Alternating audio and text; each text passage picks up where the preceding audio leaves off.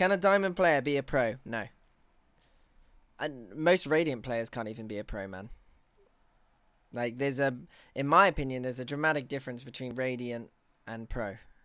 There's a lot people have to I'm not even radiant. I'm immortal because I don't even play ranked because it's not actually a good use of my time. I wouldn't learn anything from ranked.